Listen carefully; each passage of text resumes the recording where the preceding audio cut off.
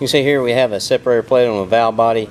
Um, this is where one of the check balls has been riding. You can see it's shiny. It's it's uh, severely worn. Uh, this valve plate, separator plate, would need to be replaced. Uh, You can see how it's been wallered out where the check ball's been hitting. It's severely worn.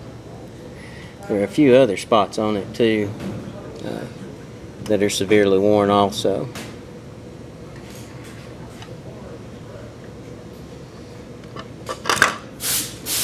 You can see this one's worn pretty good too. But this valve body uh, would need replacing.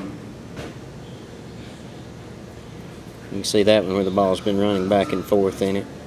Uh, but it would need replacing.